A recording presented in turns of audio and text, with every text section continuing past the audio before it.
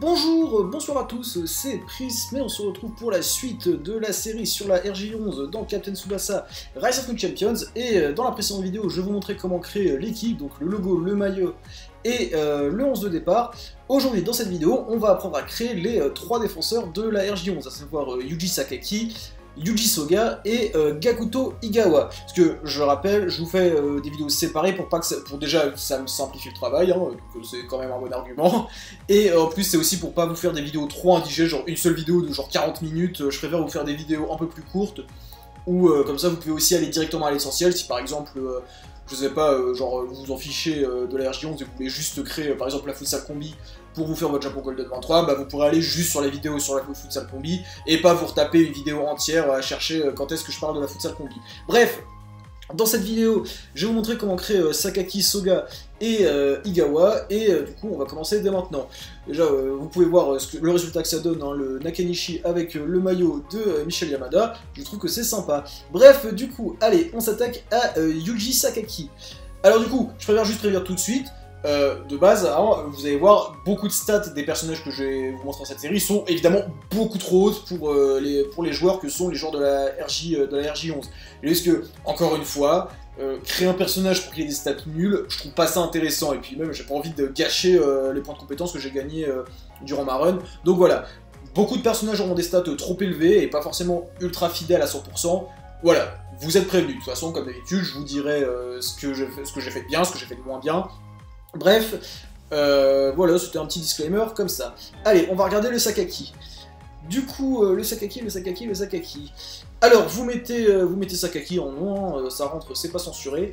Pour le corps, vous voyez, le type de corps, c'est musclé, puisque bon, Sakaki, il a un peu de muscle, hein, mais le mettez pas géant, vous voyez, c'est totalement ridicule, hein, ça colle pas du tout.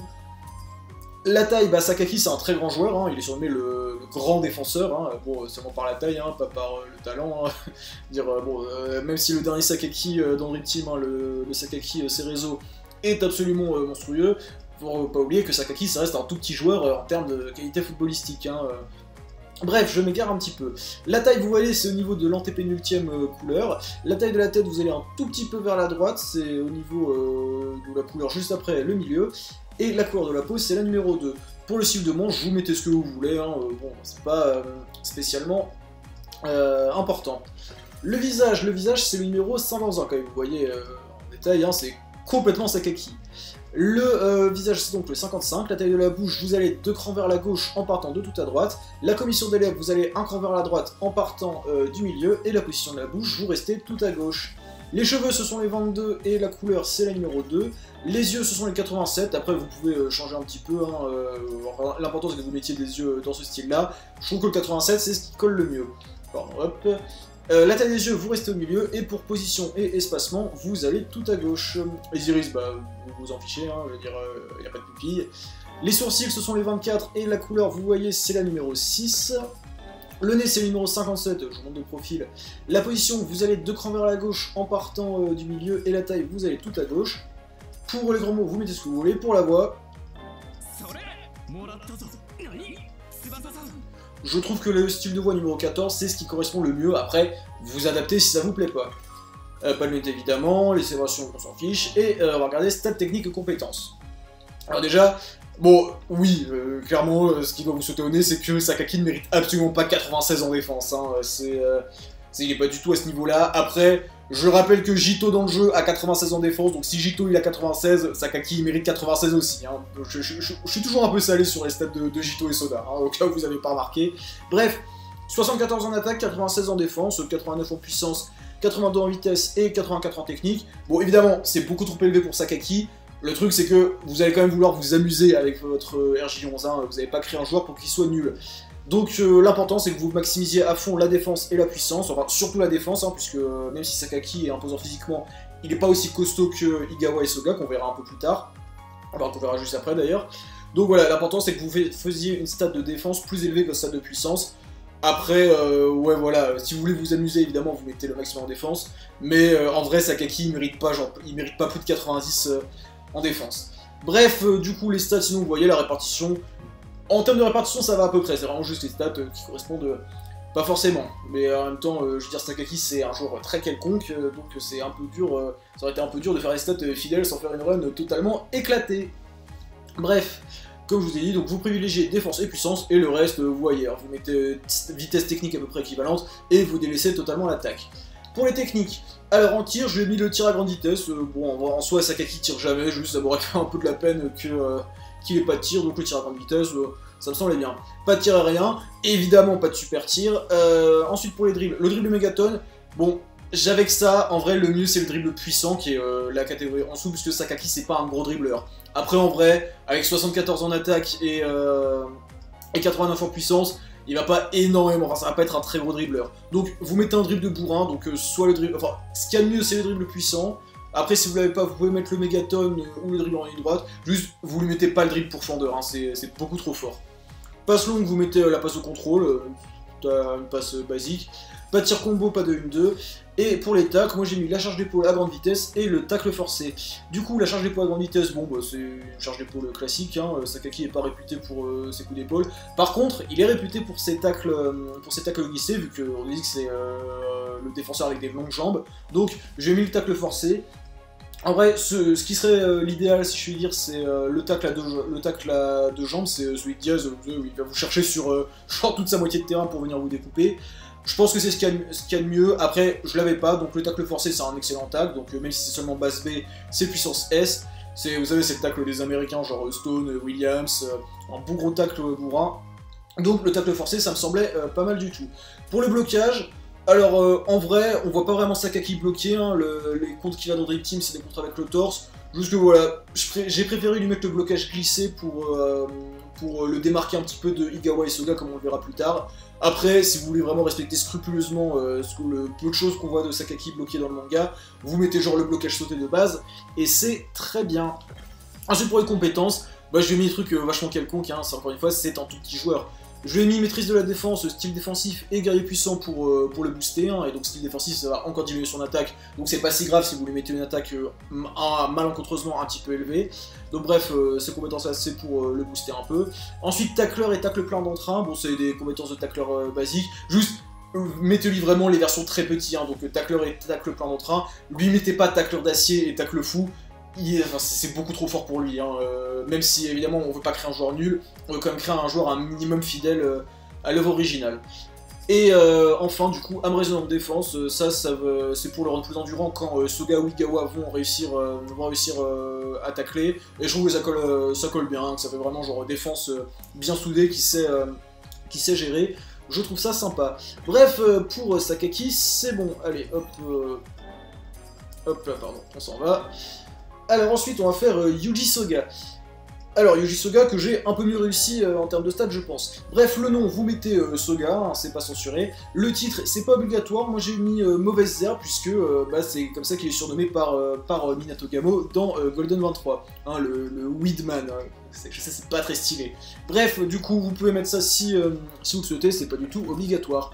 Le corps, le type de corps, bah en vrai, je pense que musclé, c'est ce qui sort le mieux, puisque même si Soga est imposant physiquement, je sais pas, je trouve que géant ça colle pas. Bon après évidemment vous adaptez si vous voulez. Ensuite pour la taille, vous voyez c'est au niveau, enfin c'est au milieu, euh, au milieu euh, vers, euh, vers la droite, donc c'est au niveau de la quatrième couleur de la première rangée. Et la taille de la tête, vous allez un tout petit peu vers la gauche.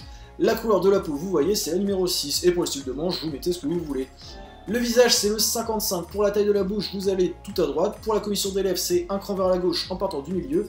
Et pour la position de la bouche, vous restez au milieu. Les cheveux, euh, perso j'ai mis les 42, c'est les cheveux de, cheveux de Muller. Je trouve que ça colle pas trop mal, après, euh, si ça vous plaît pas, vous mettez genre des, cheveux longs, quoi, un truc qui, euh, qui colle bien pour Soga. Et oui aussi, hein, je leur précise, mais quand on voit Soga, il a un peu de, il a un peu de barbe. Malheureusement, on peut, on peut faire que des joueurs imberbes dans le jeu, donc bah, il va falloir se passer du book de Soga. Bref, la couleur des cheveux, voyez, c'est la numéro 3. Pour les yeux, ce sont les 57. Pour taille et position, vous allez deux crans vers la gauche en partant tout à droite. Et pour l'espacement, vous allez tout à gauche. Les iris, vous restez au milieu et c'est l'honneur de base. Les sourcils, ce sont le numéro 38 et c'est la couleur euh, numéro 2. Le nez, c'est le numéro 27 et pour taille et position, vous restez euh, tout à gauche. Ensuite, le grand vous mettez ce que vous voulez. Et pour la voix,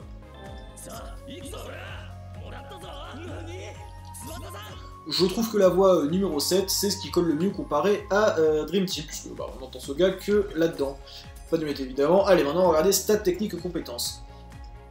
Alors déjà, je pense avoir mieux réussi que Soga que Sakaki, hein. je vous le dis tout de suite, hein, quand j'ai créé Sakaki, c'était pas du tout pour faire lui à la base, à la base c'était pour faire Toram, vous me direz en commentaire si vous voulez un tuto pour faire pour faire Toram. Bref, euh, du, coup, euh, du coup, voilà, alors que là, pour ce personnage, j'ai vraiment voulu faire Soga. Bon, évidemment, avec des stats un peu euh, boostées aux hormones, puisque, encore une fois, je voulais pas gâcher les points de compétences. mais sinon, en termes de répartition, c'est beaucoup mieux que ce que j'ai fait pour Sakaki. L'important, c'est que là, vous maximisiez à mort la puissance. On dit que Soga, c'est un joueur très puissant. Donc, vraiment, en vrai, vous, vous, limite, vous partez sur plus de 90. Bon, 95, j'ai peut-être un petit peu abusé, mais clairement, pour ce gars, vous partez sur plus de 90 de puissance. La défense, pareil, j'ai peut-être mis un peu trop. Euh, après, Soga est pas nul en défense. Après, voilà, le but euh, pour, faire un bon Soga, c'est que vous mettiez le maximum en puissance. Ensuite, que vous mettiez une défense un peu inférieure. Ensuite, que vous mettiez attaque et vitesse à peu près équivalent. Hein, euh, et la technique, vous délaissez complètement. Soga n'est pas du tout, mais vraiment pas du tout, un joueur technique. bref. ensuite pour les techniques, alors en tir, je mis le tir du hérisson. Alors, euh, bon, en soi, euh, Soga ne tire quasiment jamais. Et euh, pourquoi j'ai mis le tir du hérisson? Puisque bah, le hérisson il est assez piquant et c'est un animal qui enfin, qu'on touche pas trop, qui est, un peu, dangereux si je puis dire. Et je trouvais que ça collait bien au côté un peu teigneux de Soga, à la mauvaise herbe. Donc je trouvais ça sympa. Après, si vous aimez pas, évidemment, vous mettez un truc quelconque. Hein. Je veux dire, j'ai pas débloqué la masse de trucs pour Soga. Je veux dire, oui, évidemment, je vais pas lui mettre le tir de la feuille morte. Mais je veux dire, voilà, tir profondeur c'est trop fort, power shoot ça pourrait passer, euh, après les tirs de vitesse non, et après les tirs à effet évidemment non. Donc voilà, le tir du hérisson, je trouvais ça original et un peu sympa. Tir aérien, ça très important, vous lui mettez une tête, c'est, euh, on dit bien genre, euh, avant qu'il quitte la région, ce gars, les têtes étaient sa spécialité, même il ne savait faire que ça, il était nul dans tout le reste. Donc c'est très important que vous lui mettiez une tête, bon je veux dire, vous n'allez pas énormément voir, avoir Soga en attaque pour faire des têtes, mais c'est important. Et d'ailleurs, limite, la tête puissante, c'est trop faible. Bon, après, je vous le dis, ce personnage, je l'ai créé avant euh, que Pépé sorte, donc j'avais pas débloqué la tête agressive, mais l'idéal pour Soga, c'est que vous lui mettiez la tête agressive de Pépé. Ensuite, bah, pas de super tir évidemment, certainement pas pour ce gars.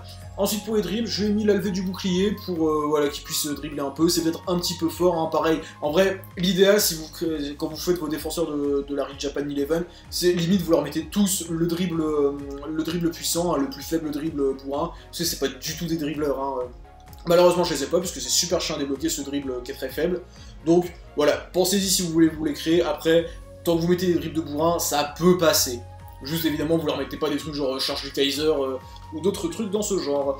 Passe longue, vous lui en mettez pas, je veux dire, euh, Soga ne fait jamais de passe. Ensuite, pour les tacles, je lui ai mis la charge de puissance, ça je, crois que c'est le tacle de Takasugi. Et le tacle de la lance, ça c'est le tacle de Jean. Alors la charge de puissance, bah, parce que c'est un truc de bourrin, mais je voulais pas lui mettre une charge d'épaule trop forte, hein, je voulais pas lui mettre la défense en puissance de Jito, ça me semblait un peu trop. Et le tacle de la lance de Jean, je trouvais que ça collait pas mal avec le tacle euh, qu'il fait dans le manga, je sais plus quand il le fait, mais dans Dream Team c'est son animation euh, tacle farouche, c'est son skill euh, tacle farouche, je crois que c'est comme ça que ça s'appelle. Et du coup, je trouvais que dans l'animation c'était parfait, que ça collait bien, et c'est un excellent tacle, c'est un excellent tacle glissé. Donc je trouve que ça colle très bien. Ensuite pour le blocage, je vous conseille le blocage en puissance de Jito. alors l'important c'est vraiment que vous mettiez un blocage bourrin à Soga. Et je veux dire, même si maintenant ils ont, euh, les mêmes stats, euh, à savoir puissance S et portée C, euh, ils ont les mêmes stats, le blocage en puissance et le blocage tenace. Je pense que le blocage en puissance colle mieux. Hein. j'ai débloqué le blocage tenace, donc c'est pas parce que je l'ai pas débloqué que je vais faire genre oui, mais si, ça colle quand même. Bref, non, surtout c'est que le blocage en puissance, quand le joueur il va le faire, eh, on sent qu'il va douiller, sa mère, qu'il va avoir trop mal. Et je veux dire, ça colle pas mal avec Soga où quand il fait des contres, bah il je crois euh, faudrait que je relise Allemagne-Japon, enfin bon, j'ai pas envie de dire le rien parce que c'est pas un bon match, mais bref. Faudrait que je relise Allemagne-Japon, puisque quand Soga euh, se blesse, bah, je crois que c'est sur en bloquant un tir surpuissant, et du coup, le blocage tenace, ça fait un peu trop en mode ah, trop facile, je bloque les tirs easy sans, sans suer, donc je trouve que le blocage en puissance colle beaucoup mieux. Ensuite, pour les compétences, bah globalement, ça va être votre contreur Soga, hein, ça va être le mec qui va être là pour empêcher les tirs adverses d'aller jusqu'au but. Donc vous lui mettez pas de compétences de capitaine, puisque bah il est pas là pour ça. Ensuite, euh, mur infranchissable, blocage courageux, bloqueur d'acier. Bah c'est un peu, voilà, c'est les, euh, compétences à débloquer pour euh, faire un bon bloqueur. Je lui ai mis les trucs, je lui ai mis les trucs, enfin le truc qui est fait très petit. Bon déjà je pense que là, là ce coup-ci j'ai pas débloqué l'effet euh, l'effet énorme donc, euh, donc, ça règle la question. Et puis même le but c'est pas du tout de faire euh, pas du tout de faire un Soga un mur qui va absolument tout bloquer. Je veux dire c'est pas Brolin c'est pas Bunak qui eux vont eux réussissent à bloquer des tirs surpuissants à bout portant sans trembler. C'est pas du tout le cas de Soga donc même si vous débloquez les trucs avec effet énorme je vous conseille de rester sur mur infranchissable et bloqueur d'acier et blocage courageux, c'est, je trouve que ça colle mieux que blocage terrifiant pour un joueur comme Yuji Soga. Ensuite, défense dieu de la guerre, euh, ça c'est quand euh, vous êtes le dernier défenseur, hein, tu auras juste votre gardien derrière vous. Et euh, du coup, bah, ça colle bien, vous avez vraiment gars, dernier défenseur, le mec, tout repose sur lui. Donc je trouve que ça colle bien. Tueur de géants, ça va booster votre stat quand vous allez contre un adversaire avec des meilleurs stats. Donc je trouve que ça colle pas mal. Et guerrier puissant, c'est le but c'est de maximiser encore et toujours la puissance de votre Soga. Allez, maintenant on a vu Soga, on va maintenant regarder Gakuto Igawa. Alors, euh, Igawa, bah, on avait vu euh, le grand frère, hein, euh, Ayato, grâce au bon conseil de cordialement, et du coup maintenant on fait le petit frère Gakuto. Donc pour le nom, bah, pour la même logique que pour la vidéo sur Ayato, j'ai mis l'initiale de son prénom, un point, puis le nom de famille Igawa. Si vous aimez pas, bah, pareil, vous mettez juste son prénom, ça colle aussi. Pour le titre, pareil, c'est pas obligatoire, je lui ai mis homme à tout faire, puisque dans le manga il est surnommé le All-Rounder, donc en gros, ça veut dire euh, le mec est capable de, de, tout faire. Et on nous explique bien que euh, Igawa, avant de quitter la RJ11, il était ultra polyvalent, genre même tellement polyvalent qu'il pouvait jouer gardien de but. Alors que bon, euh, je veux dire, c'est pas vraiment habituel. Oui, bon, c'est sûr, dans Captain Tsubasa, on a Espadas et Eken qui peuvent jouer et attaquant et gardien, mais Igawa, il pouvait vraiment jouer à tous les postes. vous allez le voir dans, les stats que je ai fait, j'ai essayé de reproduire ceci peut-être pas à la perfection, mais euh, c'était vraiment important de faire un Igawa très polyvalent. Clairement, là, dans votre région, ça va être votre défenseur le plus polyvalent. Ça va être, il va être bon partout, excellent nulle part. Au contraire, par exemple, de Soga qui va être excellent en puissance et de Sakaki qui va être excellent pour tacler. Là, Igawa, il va être un peu, euh, bah, comme je vous dis, très polyvalent. Le corps, euh, vous mettez musclé, puisque Igawa est musclé, mais il n'est pas non plus géant, vous voyez, ça colle pas du tout. Au niveau de la taille, c'est entre la troisième et quatrième couleur en partant de la fin sur la première rangée, et la taille de la tête, vous voyez, c'est au niveau de la couleur de peau numéro 3. Et la couleur de peau, justement, c'est la numéro 6. Pour le style de manche, vous mettez normal, parce que je trouve que c'est ce qui colle le mieux. Le visage, c'est le 69. La taille de la bouche et la commissure, vous allez euh, tout à gauche. C'est très important la commissure de lèvres, puisque Igawa, il tire tout le temps la tronche quand il arrive à Golden 23. Et la position, vous restez au milieu. Les cheveux, alors il n'y a pas vraiment la coupe de cheveux d'Igawa dans euh, le jeu. Moi j'ai mis la coupe 68, c'est la coupe de Blake, pour avoir les cheveux qui partent en arrière. Hein, euh. C'est pas parfait, mais je pense que c'est ce qui colle le mieux. Vous pouvez éventuellement changer un, vous pouvez par exemple mettre la coupe de Soda ou mettre la coupe de Takeshi, ça peut éventuellement passer. C'est pas ce que je préfère, mais ce sont des possibilités. La couleur des cheveux, c'est la numéro 4. Les yeux, ce sont le numéro 25 pour la taille, vous restez au milieu. La position, vous allez deux crans vers la droite en partant du milieu. Et l'espacement, vous allez tout à gauche. Les iris, euh, vous restez au milieu, et la couleur, c'est pas le nord de base, c'est celui juste à gauche. Les sourcils, ce sont le numéro 50, et vous mettez la couleur numéro 4. Le nez, c'est le numéro 32. Pour la position, vous allez tout à gauche. Et pour la taille, vous allez tout à droite. Et pour la voix... Le style de voix numéro 15 est celui qui me semble le mieux correspondre pour, euh, pour un Gakuto. Ensuite, on va regarder donc stats techniques et compétences. Alors du coup, vous voyez, euh, là, le Igawa que je vous ai fait est beaucoup plus polyvalent. Évidemment, il est plus spécialisé en défense et puissance, mais vous voyez, il est beaucoup plus équilibré que, euh, que, le, reste, euh, le reste des personnages que de la défense. Donc 82 en attaque, 90 en défense, 92 en puissance, 83 en vitesse et 84 en technique, ça me semble coller pas mal du tout. Donc euh, là, j'ai pas vraiment grand chose à dire. Hein. Euh, je veux dire, oui, bon, peut-être que 90 euh, et 92 c'est peut-être un peu trop. Après, encore une fois, le but c'est que c'est pas que votre Igawa il soit nul. Hein. Vous voulez quand même vous amuser avec, évidemment, le... de toute façon, vous allez voir, les stats c'est toujours très difficile d'influencer parfaitement sur ce qu'on veut. Et du coup, le but c'est pas du tout de faire, encore une fois, c'est de s'amuser quand même. C'est de respecter le manga, mais de s'amuser quand même un minimum. Donc, euh, vous, pouvez faire des stats un peu, euh, un peu élevés, c'est pas gênant de toute façon, avec les techniques et les compétences qu'on va lui mettre, il va pas du tout être game breaker. Donc euh, du coup, pour les techniques, alors en tir, je lui ai mis le power shoot. bon, l'idéal vraiment, bah, si vous pouvez le débloquer, c'est le tir coup de feu, c'est le tir par exemple de Kisugi, de Oda, puisque bah encore une fois les enfin les skills de euh, Igawa dans Dream Team sont euh, on a genre le, tir enfin le contre balle de fusil, le tac balle de fusil, l'interception balle de fusil.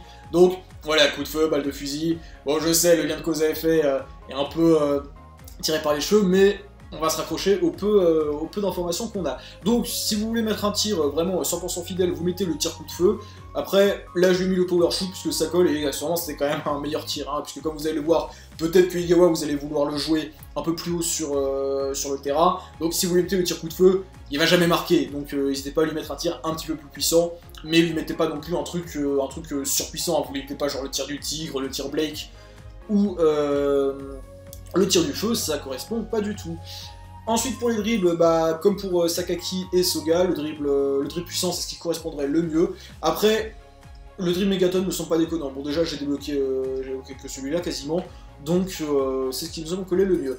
La passion, vous lui mettez la passe au contrôle de base, c'est très bien. Ensuite pour les tacles, j'ai mis la charge paralysante et le tacle Megaton. Je, pas grand chose à dire, hein, c'est des tacles assez intéressants et je trouve que ça colle bien. Pour le blocage, je le blocage sauté. Là par contre c'est important, il faut que, peu importe ce que vous débloquez comme contre, c'est important que votre Igawa, son contre, il soit moins fort que celui de Soga, puisque Soga est bien meilleur en contre. Donc c'est important que euh, votre Igawa ait un contre inférieur à celui de Soga. Donc là par exemple, vous lui mettez le blocage sauté de base, surtout qu'en plus depuis la dernière mise à jour, les euh, contres ont été euh, bien buffés. Donc le blocage sauté puissance A, portée C, c'est tout à fait correct. Ensuite les compétences, vous lui mettez pas de compétences capitaine, je dirais il est pas là et il n'est pas du tout capitaine, hein, il est jamais capitaine. Ensuite, maîtrise de la défense et guerrier puissant, bon ça c'est pour le booster un peu. Ensuite, poursuiveur, et euh, poursuiveur c'est pour... Euh, du coup ça va augmenter votre vitesse de déplacement quand vous allez réussir un tacle. Lui mettez pas chasseur de ballon, je veux dire j'ai débloqué chasseur de ballon mais euh, ça me semble trop fort tout de même. poursuiveur ça me semble mieux adapté au niveau d'Igawa. Par contre tacleur d'acier et tacle fou, là ça me semble pas déconnant de lui mettre effet énorme. Puisque euh, là vous allez me dire, ah mais euh, pourtant euh, Igawa il est pas très fort, hein, pourquoi Sakaki tu lui as pas mis pareil tacle d'acier et tacle fou? Et eh bah pour la simple et bonne raison que Igawa il fait partie du Japon olympique, alors oui, c'est vrai que Takahashi il a beaucoup rajouté des, des nouveaux personnages, et du coup il oublie un peu les anciens, mais bon, en mettant de côté ce, ce côté très méta de réflexion autour de l'œuvre, Igawa il est en équipe du Japon au JO, Sakaki non, donc ça me semble logique que Igawa il soit meilleur que Sakaki. Donc euh, voilà, tacleur d'acier et tacle fou, ça me semble bien collé. Enfin, en dernière compétence, je vais mis multi-rôle. en vrai, c'est pas obligatoire. Hein. Je veux dire, on n'a jamais vu, euh, jamais vu Igawa jouer autre part que défenseur. Juste que, voilà, euh, on sait que Igawa, il est très polyvalent, qu'il peut jouer à peu près n'importe où.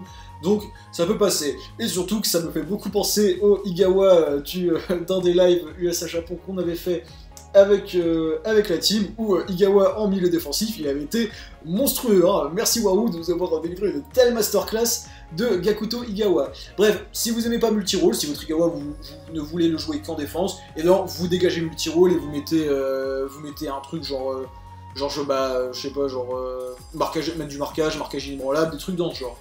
Bref, euh, du coup, on a vu comment créer euh, les trois défenseurs de la RJ11. La vidéo est déjà bien longue, hein, c'est pour ça que je voulais pas vous faire euh, une seule grosse vidéo avec les 8 joueurs d'un coup, puisque là, j'en suis déjà à quasiment à plus de 20 minutes de vidéo, donc si on veut faire les 8 joueurs, on en aurait pour une heure. Bref, la vidéo est terminée pour savoir comment créer les trois défenseurs de la RJ11. On se retrouve très bientôt pour, pour faire les milieux de terrain, à savoir, à savoir Yoshikawa Okano et euh, Nobuyuki Yumikura. Si la vidéo vous a plu, n'hésitez pas à le dire en mettant un petit like, un commentaire, en vous abonnant et en activant la cloche. On se retrouve très vite pour la suite de cette série. D'ici la prochaine fois, je vous fais des bisous et je vous dis à très bientôt. Ciao